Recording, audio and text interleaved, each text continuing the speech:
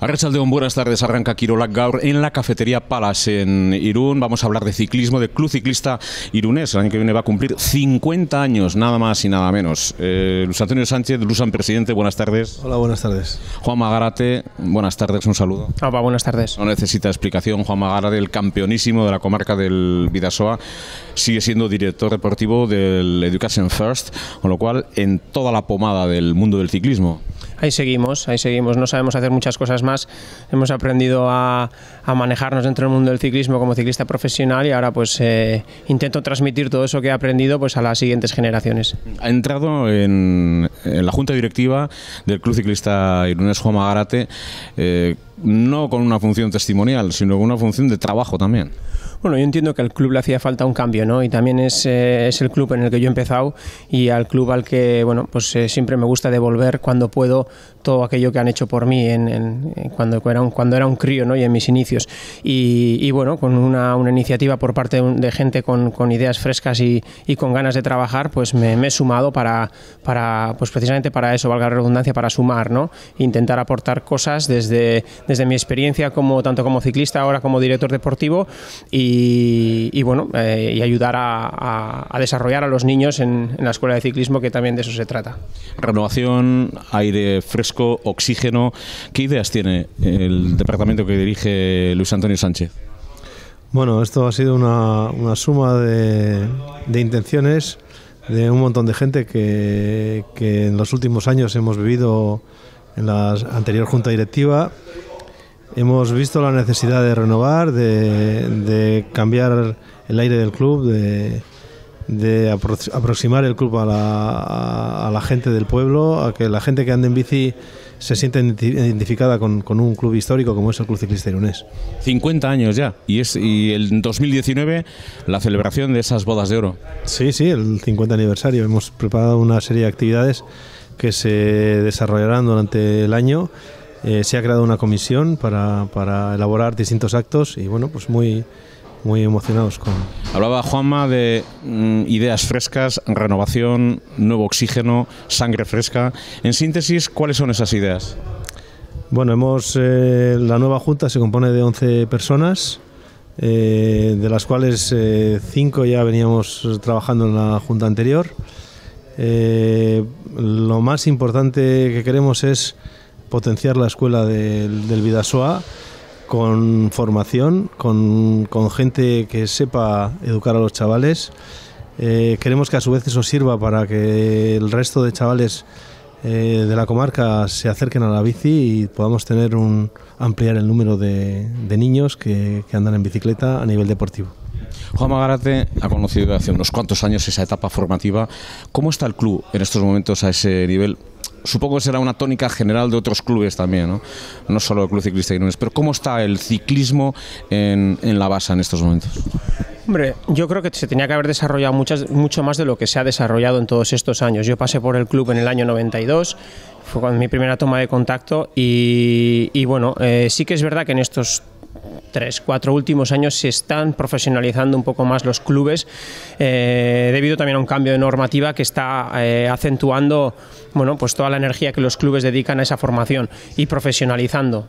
Eh, bien es claro que un club como el nuestro, pues bueno, pues no puedes tener formadores profesionales ¿no? y entrenadores profesionales, pero sí que en cierta medida es así y tenemos que tener gente preparada, cualificada, para que pueda enseñar eh, y recuperar un poco el tiempo perdido, ¿no? porque yo creo que al final hemos vivido, pues con gracias a, o, o los clubes se han mantenido mucho gracias a la, al, al buen hacer de la gente que, bueno, pues que ponerte un ejemplo, las mismas personas que estaban hasta hace muy poquito en el Club Ciclista Unense eran las personas que estaban cuando yo empecé.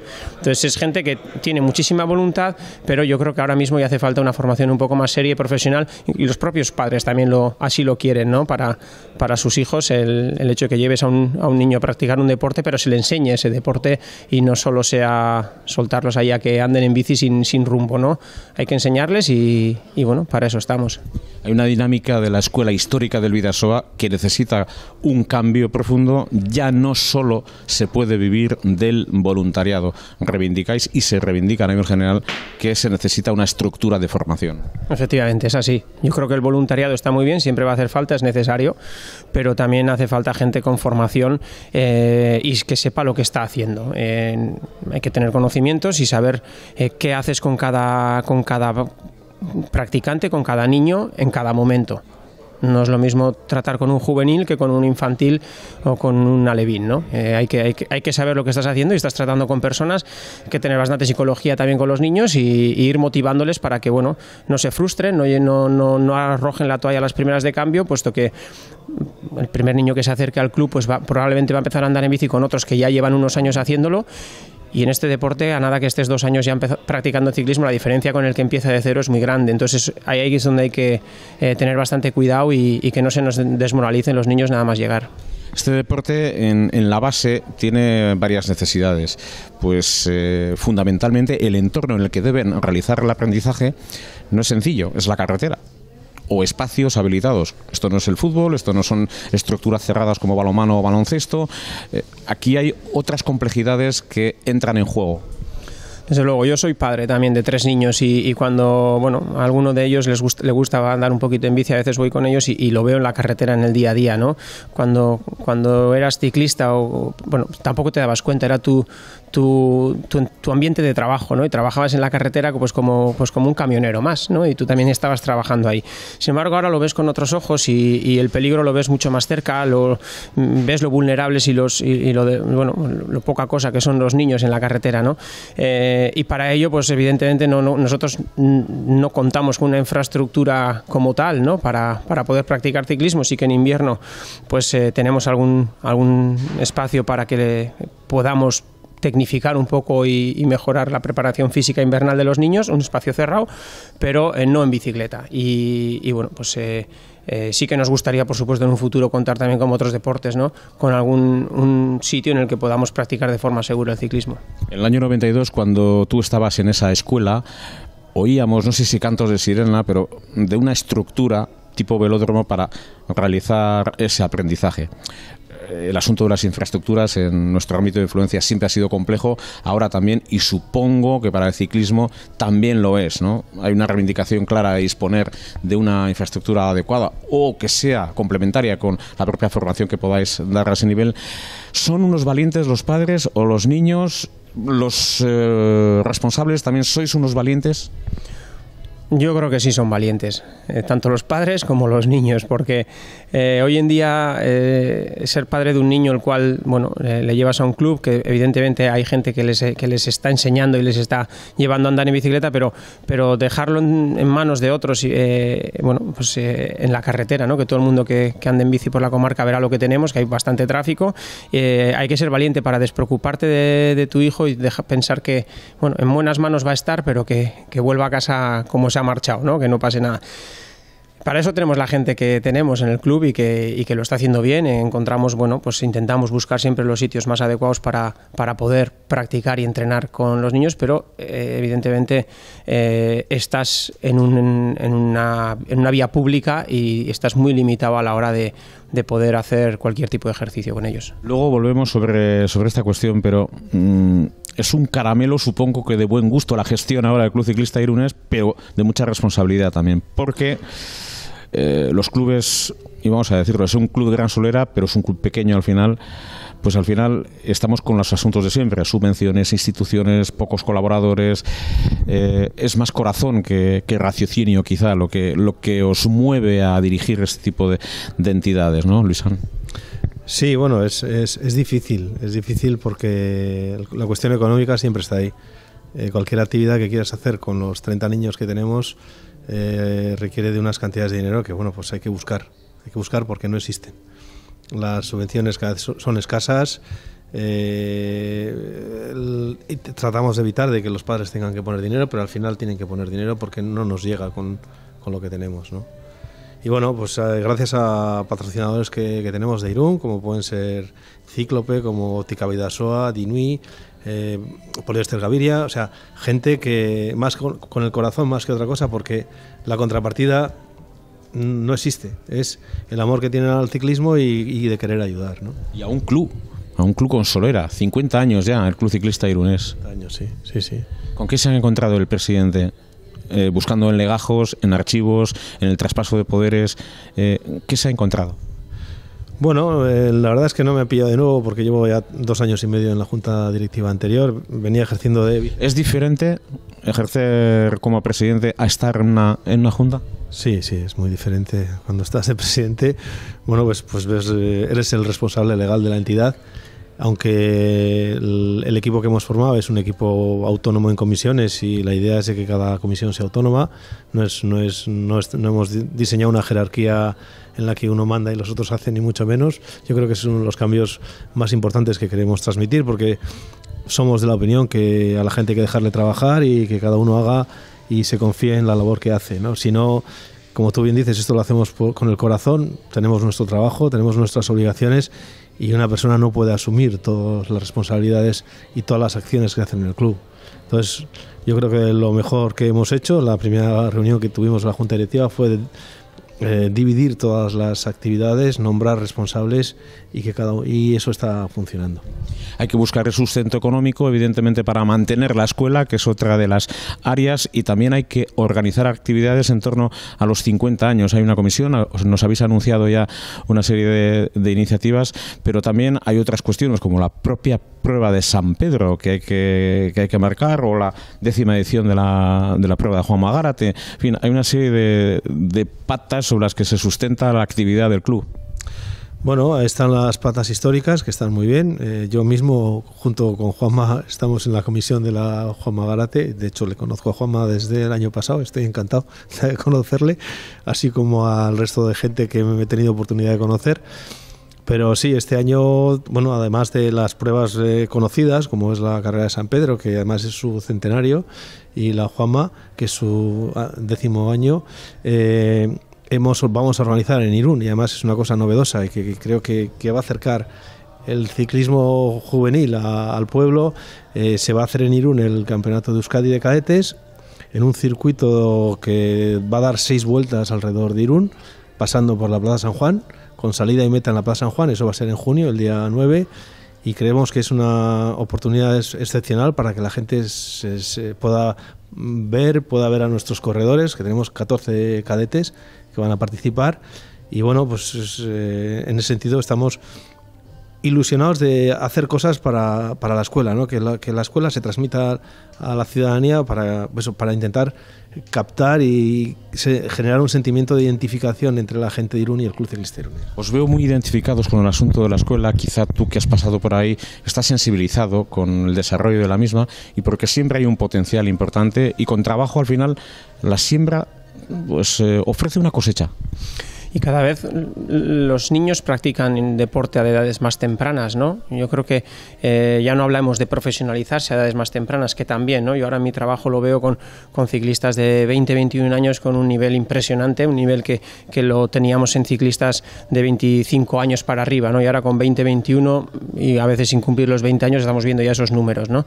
Pero sí que es verdad que, volviendo a, a la realidad que nos que nos lleva es el, el, hecho de que los niños en edades tempranas empiezan a practicar ciclismo, pero es que es ahí donde hay que enseñarles a practicarlo bien. Una cosa es que, que te des un paseo en bicicleta, que está muy bien, pero si vienes a practicar ciclismo, eh, practícalo bien desde el principio. Es como el niño que va a correr, ¿no? Todos los niños corren en el patio del colegio, pero el que va al BAT probablemente le enseñan a correr desde el principio, ¿no? y eso es un poco nuestra intención ahora mismo. Bueno, yo creo que también tendréis que coordinar el asunto del deporte escolar, donde la Diputación desempeña un papel fundamental. Eh, ¿Cómo estáis eh, integrados en lo que es la estructura escolar? puedo aclarar yo, porque la misma Diputación ha dado un giro del año pasado este en cuanto a lo que es el, el concepto que tenían de deporte escolar. Hasta hace hasta el año pasado, pues la Diputación daba un dinero a través de la Federación Guipuzcoana para que se contratara unos monitores que iban a las escuelas eh, como actividad extraescolar a, hacer gincanas de ciclismo. eh, este año, el año pasado se hizo una serie de jornadas de, pues de, pensar sobre si los esfuerzos que estaba haciendo la Diputación en ese vía estaban dando frutos y se llegó a la conclusión de que no, no, estaban siendo buenos. ¿no? No, no a través de esas, de esas gestiones estábamos formando ciclistas o eh, estábamos captando chavales que, que venían a los clubs a practicar.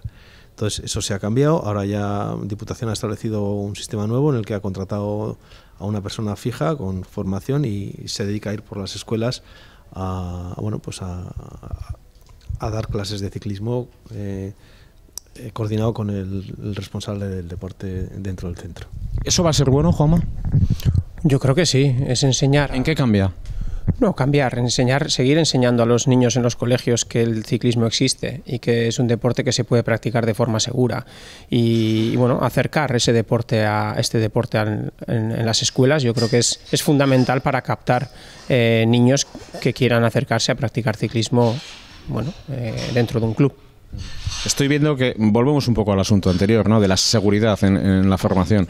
Eh, a mí me gustaría que hicierais un llamamiento, que es un, va a ser un deporte, es un deporte en la etapa de formación seguro para que los padres puedan eh, estar totalmente tranquilos a ese nivel. Creo que es un capítulo de entrada importante. Yo creo que cuanto más temprano y, mejor aprenda un niño a andar en bicicleta, y no solo los niños, los padres también, eh, más seguro va a estar en la carretera.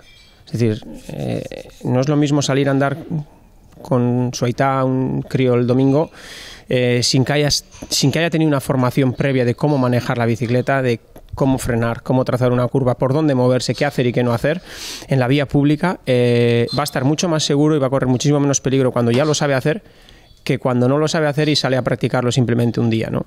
Es una forma de educar también a, bueno, no, no hacemos una educación vial eh, específica ¿no? y única, pero sí que eh, está dentro de la, bueno, de la formación que creo y la responsabilidad que tiene el club como, como escuela de ciclismo no solo es eh, intentar formar corredores o, niños para que anden lo más rápido posible en bicicleta, sino para que anden lo mejor posible en bicicleta y lo mejor significa también andar de la manera más segura posible. Al final estamos hablando de dominar la máquina, no que la máquina te domina a ti.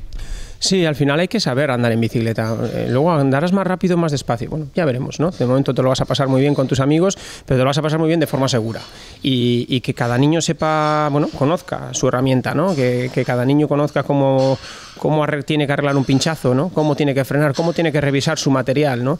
Cuando tu material está bien y estás seguro del material que tienes, pues vas muchísimo más seguro, ¿no? Y al final cuando les haces conocer un poco la herramienta que tienen ellos y que sientan responsables que es, que es suya, no es de su aita, ¿no? Ni de su ama, ¿no? Que se la preparen y se la limpien ellos, ¿no? Sino que cada uno tiene que ser responsable de lo que tiene, ¿no? A pesar de que te la hayan comprado tus aitas o te la haya dejado un vecino, pero en ese momento es tuya, ¿no? Y el responsable eres tú. Entonces, conociendo el material, manteniéndolo, respetándolo y, y dominando el entorno un poco, pues es de la manera más segura y con la que yo creo que hemos crecido todos en, los cicloturistas de la comarca. ¿Qué le recomendarías a un padre que tiene un niño de 10 años, por ponerte un ejemplo, eh, lo veo, una, edad 9, 10, 11 años y que quiere practicar ciclismo? Que se acerque al club.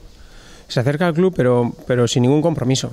que se acerque al club y pregunte, oye, eh, mira, no sé, veo a mi niño que, no sé, quiero enseñarle a practicar ciclismo, ¿cómo me podéis ayudar? Eh, bueno, tráele, le enseñamos, igual te enseñamos a ti también, ¿no? Para que le puedas seguir enseñando en casa al niño, ¿no? Que se acerque, estamos encantados de, y necesitados, ¿no? De niños y, y de padres también para que, bueno, pues que esta familia siga creciendo y que, y que nos sintamos todos cada vez más arropados y más seguros también. ¿Qué proceso sigue en el aprendizaje? ¿Cuándo llega a competir? Eh, ¿hasta, ¿Hasta qué edad ya se, se le marca una pauta? ¿Cuál es el proceso desde que se recibe al niño? Yo sigues aprendiendo toda tu vida. Yo todavía es el día a día de hoy, eh, estoy ya en otro, en otra faceta, pero todavía sigo aprendiendo y no, acabaré de aprender nunca. Muchas veces yo pensaba que ya lo sabía todo, pero sabes todo, bueno, cuando te sale de tu zona de confort, de repente no sabes nada, ¿no? Que un niño que esté acostumbrado a andar en, bicicleta de, mountain bike con los amigos en el barrio, pues se monta una bicicleta carretera y no sabe nada de repente, ¿no? O le llevas al velódromo y todavía sabe menos aún. Eh, los, niños a partir de la edad de, de cadetes, por ejemplo, que estás hablando de 14 años, Lusan, ¿verdad? Eh, yo creo que son niños que te pueden sorprender. De lo que son capaces de hacer a los propios padres. Yo todavía no tengo de esas edades los míos, pero veo de lo que son, lo que son capaces de hacer los niños con 14 años, estoy seguro que los padres no se lo esperan. O si un día se ponen sus padres al lado de ellos en bicicleta e intentan seguirles con 14 años que tengan, se van a llevar una, grata sorpresa de, lo que son capaces de hacer. Pero eso, como, como bien he dicho, eh, aquí nunca vas a dejar de aprender, nunca. La técnica en el ciclismo eh, parece que bueno, para el que no lo conoce parece que no existe, ¿no? O el trabajo de equipo, ¿no? Que también parece que no existe, que es un deporte que algunos consideran individual, pero que al final te va a enseñar no solo andar en bicicleta, sino una serie de valores en la vida que, probablemente te van a servir para, toda tu vida. Y otro capítulo supongo que tendréis que asesorarles a nivel de alimentación también para estos jóvenes valores, ¿no? Es el comienzo de una buena alimentación para realizar un ejercicio exigente también. Sí, pero poco a poco, ¿no? Porque al final niños de, de 10 años, 11 años, eh, si les empiezas a, marcar, pautas demasiado estrictas, pues les hace falta su palmera de bollo también a la tarde, ¿no? Y, sus chuches de vez en cuando, ¿no? Yo creo que estamos en, esa típica, las típicas edades que tienen que jugar, se lo tienen que pasar bien, tienen que aprender, también tienen que ser responsables y, consecuentes de estar apuntados en un club, ¿no? Y de pertenecer a un club, tienen que seguir una serie de normas y eso yo creo que les bueno, les da también cierta responsabilidad, ¿no? El hecho de vestir una camiseta y tienen que, ciertas obligaciones, pero a, su vez, pues también no puedes tensar la cuerda en todas las categorías de la misma manera, ¿no? Estamos hablando del Club Ciclista Irunés y estamos hablando de la necesidad de acercar a los padres al club, que los socios colaboren. Sí, hombre, eh, está claro que la escuela del Vidasoa no se sostiene si por detrás no tiene una masa social que apoye y, haga que los, que los chavales puedan aprender a ser ciclistas y bueno, pues en su día, si, si se tercia, pues a tener otro gran campeón, ¿no? Pero eso hay que trabajarlo. Y nuestro, nuestra prioridad ahora mismo es generar esa masa social identificada con el club que haga que, bueno, pues que, que todo eso funcione, ¿no? Claro, como sostén social, evidentemente, para que eh, el trabajo tenga sus frutos y sostén económico. Tendréis que trabajar en el económico con instituciones, con patrocinadores privados, para que esto también pues eh, garantice la supervivencia del club. Sí, está claro. Eh, los números son los que mandan. Nos hemos planteado un presupuesto bastante austero, pero bueno, muy centrado en, en la escuela y en eso estamos trabajando. Eh, hay que hablar, y hemos hablado de, la escuela, del 50 aniversario. Recuerden, el club va a cumplir 50 años en 2019 y vamos a hablar de la Juanma Gárate, porque sabemos que la prueba de San Pedro es eh, centenaria, va a ser centenaria. Y la Juanma Gárate, 10 años ya, Juanma. Sí, la verdad que el tiempo pasa, pasa rápido. Eh, todavía corría en bici yo, fíjate. No, no, la verdad que, que es para mí es un motivo de orgullo, ¿no? Algo que se planteó en su día, pues como, oye, ¿qué te parece si hacemos una marcha cicloturista, ¿no? Como para juntar a, a, los cicloturistas de la comarca y tal. Y al final, pues bueno, estamos hablando de ya de 10 ediciones y que, y que seguimos, bueno, mejorando, intentando mejorar cada año y, poniéndole, yo creo que muchísimas ganas, ¿no? Hay un grupo de trabajo detrás, como ha mencionado Lusan, estamos, eh, bueno, pues dentro de la comisión Juan Magarate estamos 6-7 personas que, que durante prácticamente todo el año, que quizá esta época de invierno nos estamos un poquito más tranquilo, pero, pero es un dale que te pego para intentar bueno, hacerlo mejor si cabe cada año. De la primera edición a la décima, con muchas novedades. Sí, sí, hemos tenido a lo largo de estos 10 años cambios de recorrido, hemos tenido cambios de fecha. Eh, bueno, mm, al principio estábamos al día el día siguiente la clásica San Sebastián, pero solía coincidir con operación salida, nos complicaba mucho las... Eh, no ves cómo el tráfico desempeña un papel vital en este tipo de organizaciones, en este tipo de circunstancias y en el mundo del ciclismo. A pesar de que en la operación salida, bueno, pues eh, igual no tengas demasiado tráfico por esta zona, pero, pero bueno, pero eh, hay una serie de normas que cumplir y no, podíamos organizarlo de manera libre y al final, pues bueno, estamos a mediados de junio, normalmente segundo fin de semana, tercer fin, depende un poco, un poco cómo, cómo cuadren las fechas y, bueno, este, tenemos un recorrido ya bastante asentado duro, exigente. Este año, el año, el año 2018 hemos tenido un doble recorrido, un recorrido corto y uno largo. Eh, y bueno, ahí vamos a seguir, vamos a seguir con el mismo formato. está dentro, englobado dentro de un fin de semana que es la bicicleta festa, en el que el sábado a la tarde ya tenemos algunas actividades y luego el domingo pues eh, la marcha cicloturista, que es bueno, el, yo creo que el punto álgido del fin de semana. ¿no? Te acompañan muchísimos cicloturistas, no solo amigos, evidentemente, la mayoría, pero muchísimos eh, cicloturistas. Sí, no, ahí, bueno, estábamos ya cerca de 500 participantes el año pasado. Estamos hablando de palabras mayores ya. Sí, sí, de, de hecho con la, con la organización que tenemos, bueno, amateur, ¿no? Entre comillas, que es que le ponemos todas las ganas que podemos, eh, pero bueno, pues a partir de 500 ya la cosa se empieza a complicar, ¿no? Y, y, sobre todo, bueno, lo tenemos, hasta ahora lo hemos realizado en la Plaza San Juan, tenemos que intentar encontrar un, un sitio en el que podamos acoger a, a, a, más gente, pero siempre con un número un poco controlado para que no se nos dispare la gente, está contenta con el, el feedback que recogemos al llegar a meta es, es positivo, es muy bueno. También tenemos un recibimiento bastante bueno gastronómico. Eh, cuando la gente llega, pues le gusta ¿no? el, el ambiente que se crea en, en la zona de meta. Y, y, bueno, pues no sé, esperemos eh, seguir haciéndolo igual de bien en este décimo aniversario y, y preparar alguna que otra sorpresa. Pues supongo que será un punto de satisfacción para Juan Magarate, pero también para el club. Bueno, por supuesto que sí. Es, eh, vamos, no, yo llevo trabajando con Juanma, como he dicho antes, dos años en las dos últimas ediciones. La primera un poco más de observador, en la segunda ya más metido lleno. Y vamos, es una, es, es, una maravilla la, el ambiente que se respira. eh, La propia gente del club se implica. Los chavales de la escuela dan la salida a, a la marcha, encabezándola los primeros 3-4 kilómetros. Y bueno, pues la verdad es que nos, nos, llena de orgullo el que se celebre en la marcha. Con la celebración de los 50 años, ¿queréis que esas estructuras que necesitan de una labor más callada, más sorda, más de invierno, ¿eh? Eh, se vayan a consolidar, encuentren más apoyos? No, no te entendí muy bien. Digo que con los 50 años, eh, de alguna manera, sea un altavoz para consolidar ese trabajo de base de la gente más joven, el, el, el trabajo que no se ve en el día a día, ¿no? que los 50 años de, de Club Ciclista Irunés no sea, hemos celebrado una serie de actos y se acabó, ahí se acabó el club, sino que sea altavoz también de todo el conjunto de actividades que, que, de las cuales se responsabiliza el club. Bueno, eso pretendemos, ¿no? El calendario de actividades o lo, lo, que hemos pensado van desde exposiciones fotográficas hasta, bueno, pues como he dicho yo, carreras, nuevas carreras. Eh, habíamos organizado una carrera de, de, féminas, pero al final no ha podido ser.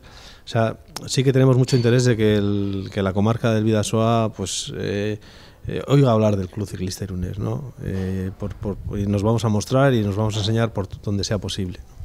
Y la prueba de San Pedro que casi no necesita ni, ni presentación ya. Sí. Y pasó épocas difíciles y de estrecheces y, y, con muchos problemas, pero da la sensación que de nuevo está ahí más presente que nunca. Bueno, es, eh, la prueba de San Pedro, como tú bien dices, es, es, es de, las más, de las más antiguas del calendario nacional.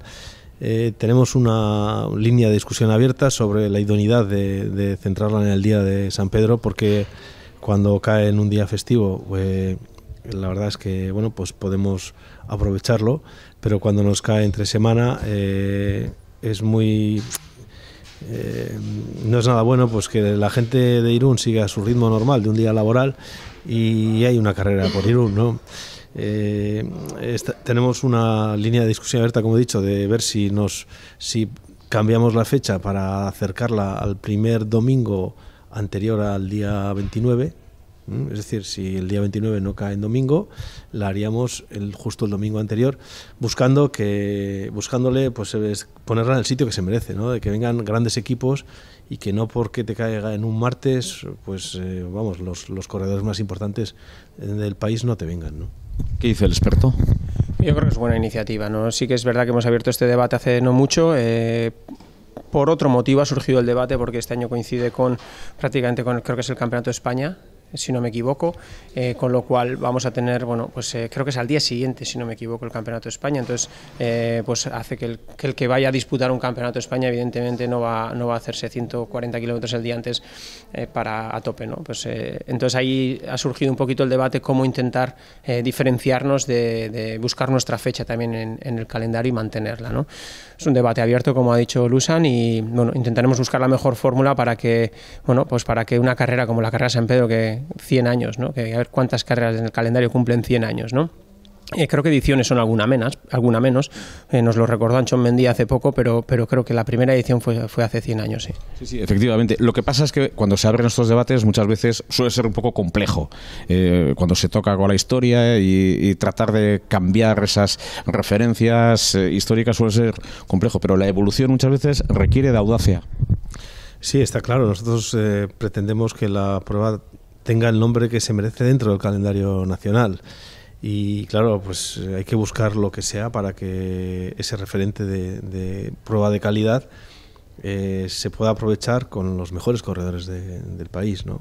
Eso es lo que buscamos. Eh, ¿Qué llamamiento hacéis a, la afición o al, o al Irunes de la calle o al Vidasoarra de la calle para que vuelva al club, para que eh, se sienta identificado con el club? Porque me consta que necesitáis componente humano, me consta que necesitáis apoyo. Bueno, hay dos, dos patas fundamentales, ¿no? Eh, una las, las comentó antes con Juanma, eh, la escuela de ciclismo. Yo he vivido lo que es lo que sienten los chavales en la escuela. Empecé ayudando en Alevines, incluso he, he, llevado un grupo de niñas durante unos años, les he ayudado. Veo cómo se lo pasan. Creo que los chavales que no lo conocen se están perdiendo algo grande, ¿no? y tenemos que ser capaces de transmitir a esa gente que, que tiene bici, que le gusta andar en bici, que pruebe el, el, estar dentro de una estructura de un equipo, ¿no? Y ese es un reto importante, ese por un lado. Y por otro, toda esa gente que, le gusta andar en bici el fin de semana, que se coge su bici de mountain bike o se coge su bici de carretera para, hacer pues 20, 30, 40, 50, 60 con los amigos, ¿no? Eh, que se acerque al club, ¿no? que, comparta sus experiencias con, otra gente, pero dentro del entorno del club. ¿no? Eso nos, hará llenarnos de, del alma ese que, que no tenemos ahora mismo. ¿Buscáis alma?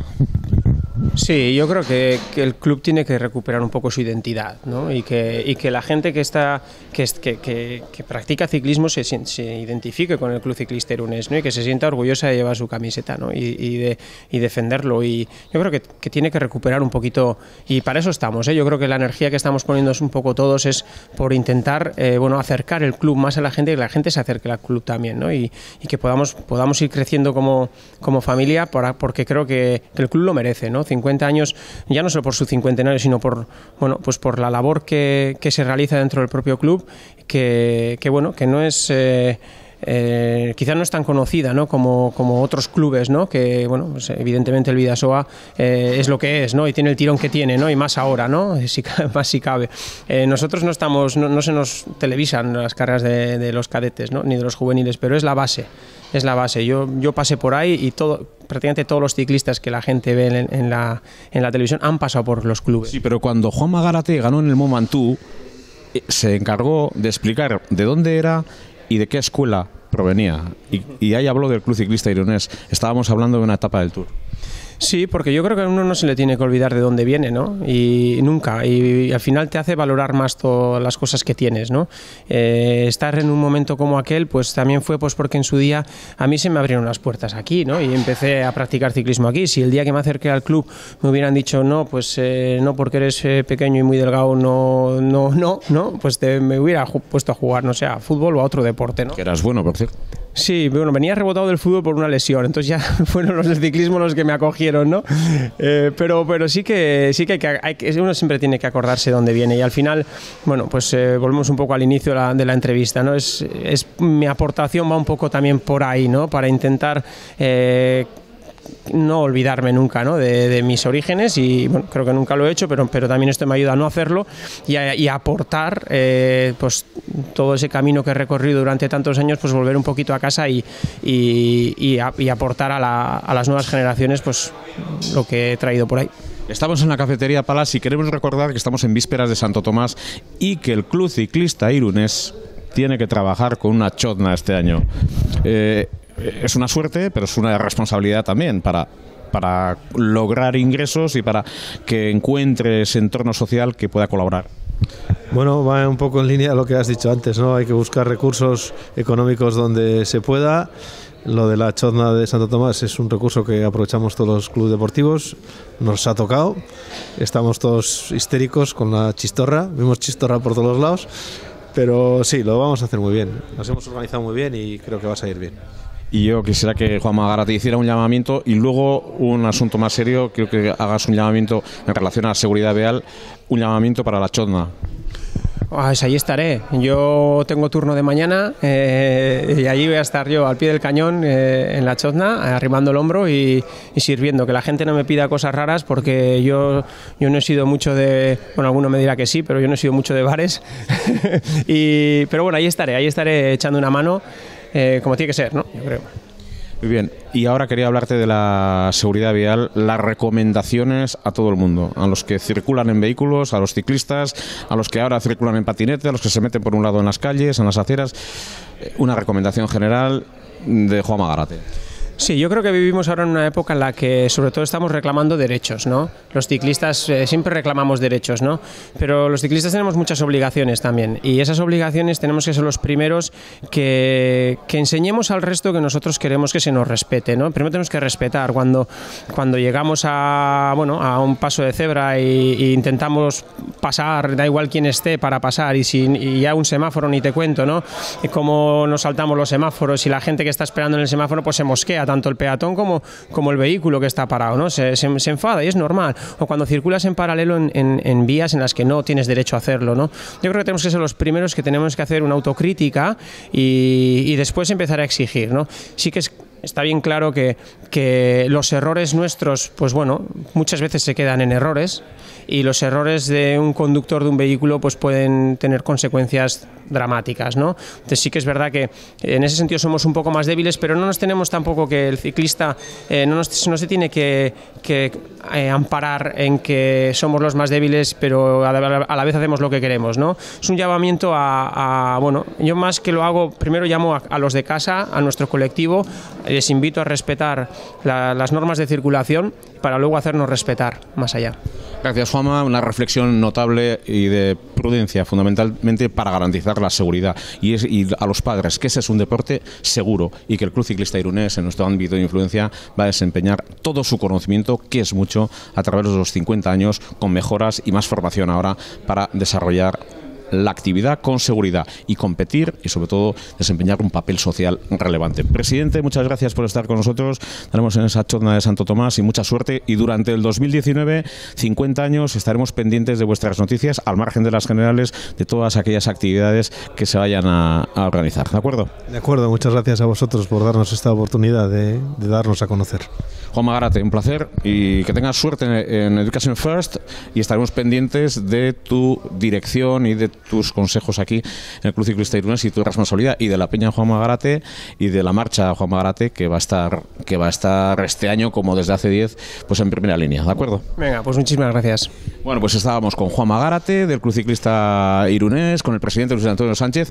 Néstor Rarana tenía que estar por aquí, pero está entrenando para alguna prueba de notable interés también. Es uno de los responsables de comunicación de este club y estará con nosotros. En la cafetería Palas hemos eh, desarrollado esta edición de Kirolak Gaur que recoge además, y les digo, las imágenes del traspaso de poderes en Artalecu entre el presidente saliente José Ángel Sodupe y Gurutz Aguinagalde, presidente saliente de un Vidasoa que el pasado fin de semana conquistaba el subcampeonato de la Copa Sobal en Lleida frente al Fútbol Club Barcelona. El Barcelona todopoderoso, omnipresente y con su gran estructura vencedor de esta Copa Sobal, el Vidasoa que tiene que disfrutar de ese capítulo y que mañana a ocho y media de la tarde en el Huerta del Rey de Valladolid disputa el partido de ida de la Copa del Rey. El sábado a las 7 la cita en el Polideportivo Artaleco Irún, partido de vuelta. O sea que desde la cafetería Palas hemos trasladado este set de Teledonostia. Quirola Gaur vuelve mañana y volvemos también durante toda la semana. El viernes con una despedida para José Ángel Sodupe hasta el día de hoy oficialmente presidente del Club Deportivo Vidasoa Irún. Hoy es el traspaso de poderes, pero ya les anunciamos que el sábado, el viernes, estará con nosotros, porque el sábado hay eliminatoria de vuelta, partido en Artalecu a las 7 de la tarde. Nada más, a León muy buenas tardes.